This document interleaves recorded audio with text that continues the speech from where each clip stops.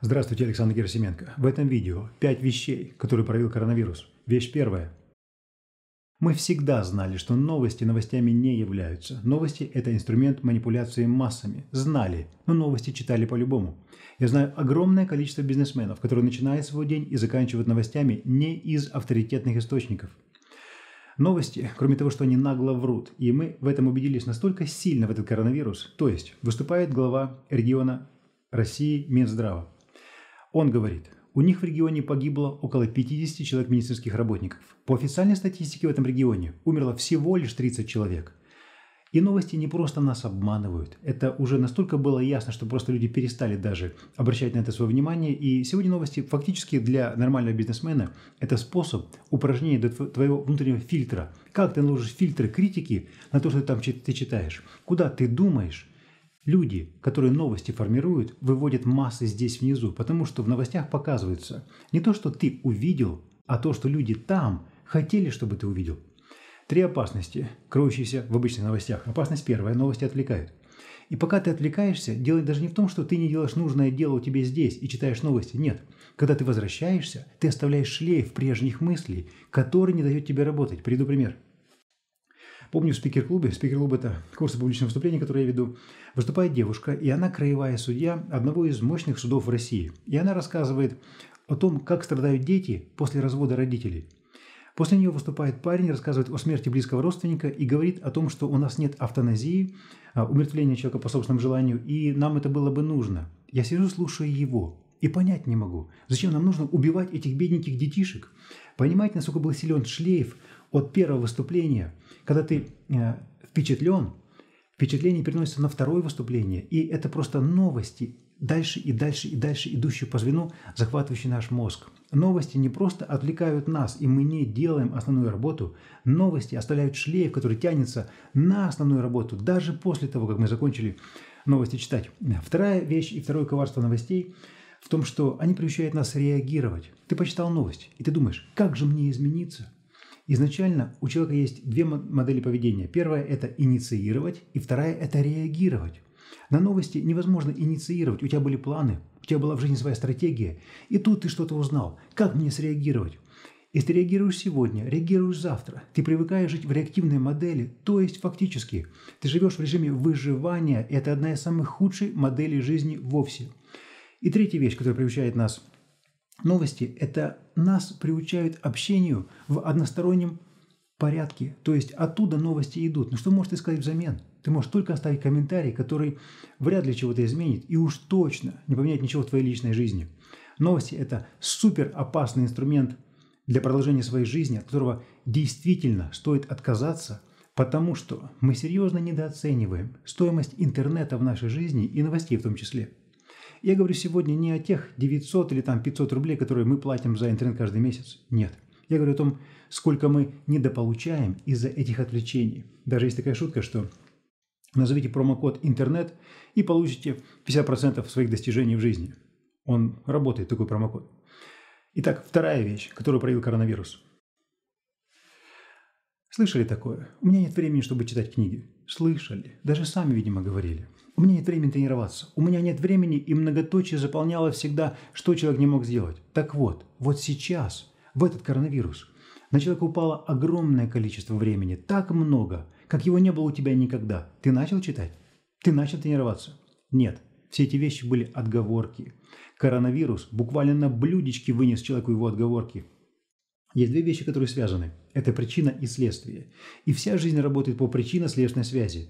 Как только у человека возникают отговорки, в которые он сам верит, а есть дураки двух типов, которые отговорки формируют и верят сами, и другие, которые верят отговорки других людей. Так вот, только у него возникают отговорки, он вставляет их в процесс причинно-следственной связи и нарушает его так, что впоследствии сам уже не понимает, как ему выбраться из этой ситуации в жизни. Отговорки были проявлены в чистом виде – в этот коронавирус. Их нужно признать как отговорки и просто устранить, обращая внимание на реальные причины. Ты не тренировался, потому что не хотел. У тебя не было дисциплины тренироваться. Ты не читал не потому, что времени не было, а у тебя не было дисциплины чтения. Ты торопился не потому, что времени не хватало, а потому, что суета твоя показывала твою значимость, как ты важен, как ты нужен где-то в другом месте, только не здесь. Все эти вещи были отговорками чистейшей воды. И их нужно убрать, если мы хотим сделать очень чистый канал между причиной и следствием. Третья вещь, которую проявил коронавирус – Замечали, что произошло, когда людей попросили «надевайте маски». Многие из них отказались. Отказались буквально по страхам смерти. То есть очевидно, что вирус опасен. Молодым людям менее опасен, пожилым очень опасен, но вирус опасен. Простая вещь. Наденьте маски. Они отказались. Человек сегодня бежит не туда, куда он хочет бежать. Даже не туда, куда ему нужно, а куда его гонят его привычки. Люди отказывались прививать себе новые привычки. Мне это было непонятно, возможно, потому что я учился 6 лет, 6 лет в медицинском институте, и э, привычка носить маску еще как-то осталась, ты одеваешь, просто ты живешь в маске, это нормальная вещь. Но наблюдая за происходящим со стороны, это еще раз просто подчеркнуло, насколько же сильно люди привязаны к своим привычкам и как трудно им с ними расставаться. Это же, кстати, сегодня можно уже применить, строя свой бизнес. Если вы строите ресторан, и у вас ресторан такой, что в него приходят люди один раз в месяц, то это не привычка. Это он находится в категории какой-то супер роскоши, или они очень редко приезжают. Это очень ненадежный бизнес. И обращали внимание, даже сейчас, в этот карантин, в Макдональдсе стоят очереди за бургерами. Почему? Потому что Макдональдс – это ресторан, куда люди приезжают за бургерами буквально каждый день. Он вставился в привычки людей, и они по ним живут – Хочешь строить успешный бизнес – влезай в привычки своих потребителей. Четвертая вещь, которую проявил коронавирус. Уоррен Баффет, выдающийся американский инвестор, сказал фразу «Личное состояние 86 миллиардов долларов». Only when the tide goes out do we discover who's been swimming naked. Когда прилив отойдет, мы увидим, кто плавал голый. Что имеется в виду? Когда экономика растет, в ней каждый может быть успешный. Каждый человек строит бизнес, у него что-то получается, и многие могут подумать, что они уже хорошие бизнесмены. Но когда прилив отходит, экономика снижается, вот тогда мы видим, у кого реально не было денег, у кого бизнес да, висел на честном добром слове. Сколько раз сейчас мы слышали бизнесменов, якобы бизнесменов, обучающих нас, как нужно строить бизнесы. Эти все псевдо-богачей. И куда они сейчас все делись? Они просто исчезли в никуда. Каждый из них просил помощи у государства, потому что их бизнес фактически был несостоятельным. Когда прилив уходит, мы видим, кто плавал голый. И последняя, пятая вещь, которую проявил коронавирус. Обращали внимание на огромное количество конфликтов во время карантина. Эта звезда поругалась с этой звездой, этот поругался с этой. Почему так происходит? А потому что, когда люди общаются по одному узкому информационному каналу, и не общается по широкому эмоциональному каналу, общение искажается. Фактически канал узкий, буквенный, который мы строчим, это код. Это код, в который человек пытается вложить свои мысли, но он полностью лишен эмоций.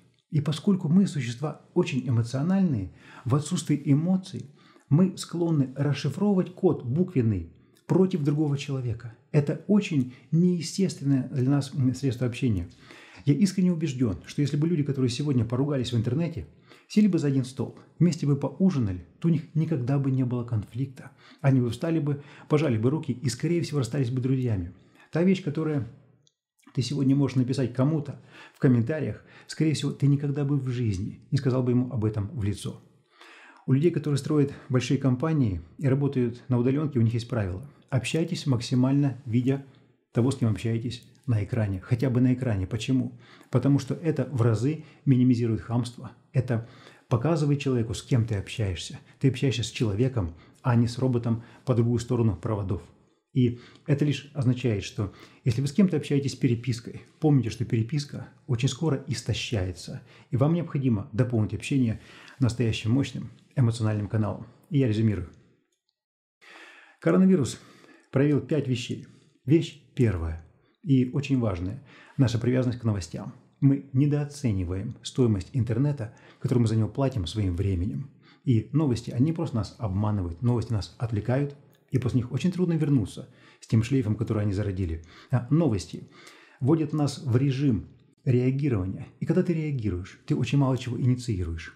И новости обучают нас общаться в одностороннем формате, фактически отучая нас от правильного режима общения. Следующая вещь, что показал коронавирус, он показал ценность нашего времени и как сильно мы себя обманываем, говоря себе, что у нас нет времени. У нас не времени нет, у нас есть отговорки, которые влезают в причинно-следственную связь. Третья вещь. Показал силу привычек. Люди скорее умрут, чем расстанут своими привычками. Четвертое. Коронавирус проявил слабые бизнесы, которые не были сильными никогда, а лишь говорили об этом. И пятое. Фактически он учит нас общаться. Общаться, встречаясь вживую. С вами был я, Александр Герасименко. До встречи.